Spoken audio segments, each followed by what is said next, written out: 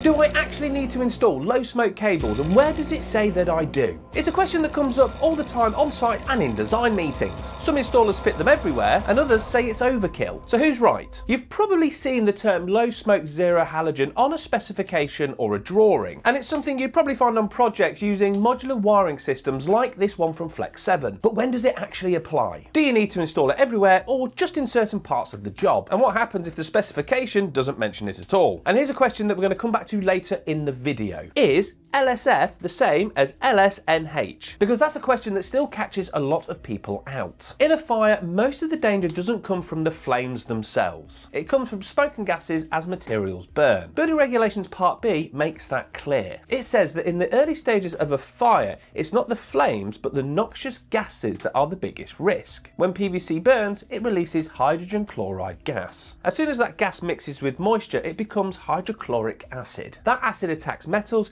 damages electrical equipment and burns the airways when inhaled. So cable selection isn't just about voltage drop, it's also about safety in the event of a fire. The King's Cross underground fire in 1987 proved how dangerous cables and smoke can be in the event of a fire. Thick, corrosive fumes spread through the tunnels, making it nearly impossible for people to escape and firefighters to locate the source of the fire. And that incident changed the way we think about materials and cables that we install in public buildings. It pushed the industry to look very closely at the cables buried behind walls and above ceilings. Modern buildings nowadays rely on complex wiring systems. Offices, hospitals, transport hubs and schools all use modular wiring systems and plug-in control systems. These systems sit above escape routes and occupied spaces, which means the cables they use must meet strict smoke and fume limits. This is why Flex 7 only use low smoke, no halogen cable across their entire range of modular wiring systems. Their lighting connection systems already meet the safety level expected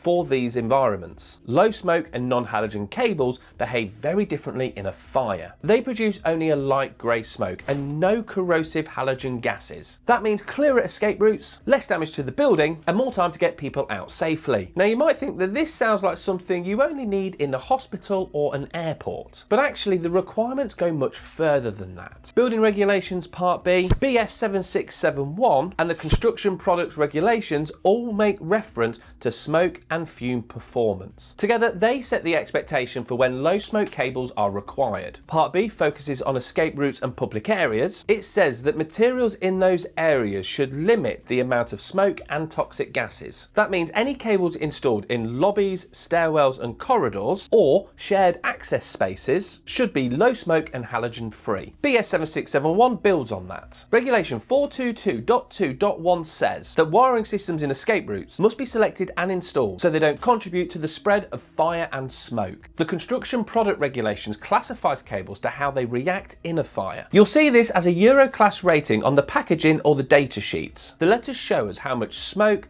toxic gases and flaming droplets a cable produces. Public and shared spaces are expected to meet those higher standards. So where will you actually find these cables? Almost everywhere where people gather and move through. Schools, hospitals, offices, hotels, shopping centres, transport hubs, care homes and data centres. If people need to escape or if that cable needs to keep operating in an emergency, then it should be low smoke, no halogen. Because Flex 7 already use low smoke no halogen throughout their entire range, the installation automatically meets those low smoke zero fume standards. So now we know where and why it's needed, but how do you actually check it's been called up on a project? Well, you'll usually find that requirement listed in one of three places. The general specification, the cable's schedule, or the fire strategy section of the design. In the specification, you might see a note which says, all wiring systems within escape routes shall be of a type of low smoke, no halogen cable. Sometimes it will even reference a specific standard like BSEN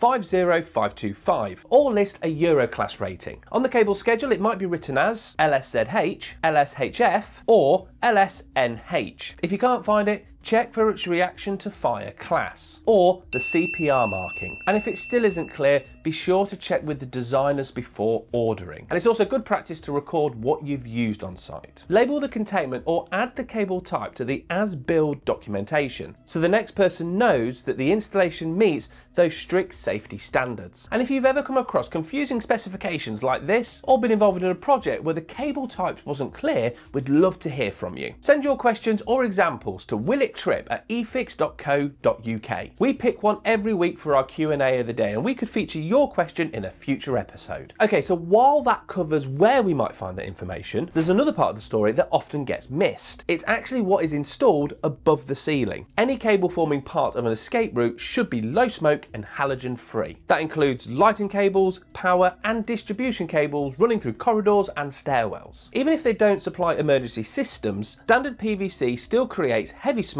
when it burns. And then there are the life safety systems. Fire systems and emergency lighting should not only only be low smoke halogen free, but should also be fire resistant as well. BS 5839 and BS 5266 set out those requirements. Those systems need to keep working long enough so people can evacuate safely. But here's the part that's easy to miss. It's not only the fixed wiring that needs attention, ceiling voids in offices, hospitals, airports and classrooms are full of flexible plug-in connectors. Modular wiring systems like this one from Flex 7 are used to save time and make reconfigurations easier. But those leads could often run across escape routes and open areas. If they were made of PVC or LSF, they could release toxic smoke in the event of a fire. But by using low smoke non-halogen cable across their entire range, Flex 7 makes sure that their cables meet the same safety standard as the rest of the fixed wiring. So even the parts you don't see are designed to protect the people below. But now you might be wondering what is the difference between those low smoke terms anyway? We've mentioned LSF and LSNH, but they aren't the same. LSF or low smoke and fume cable just produces less smoke than PVC cable, but it still releases halogens. LSNH cable, also known as LSZH or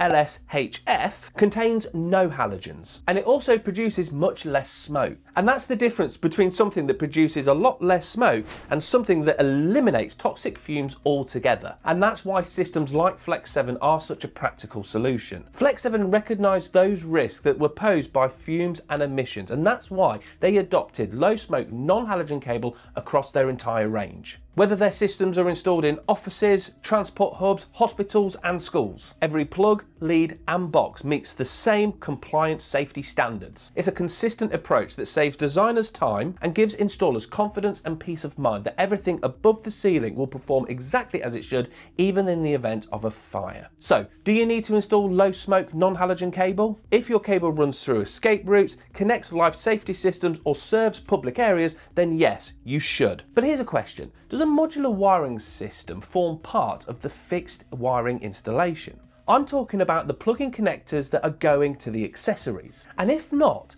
do they need testing? Well, I've dived into that very question. If you want to find out, then click the video on screen now.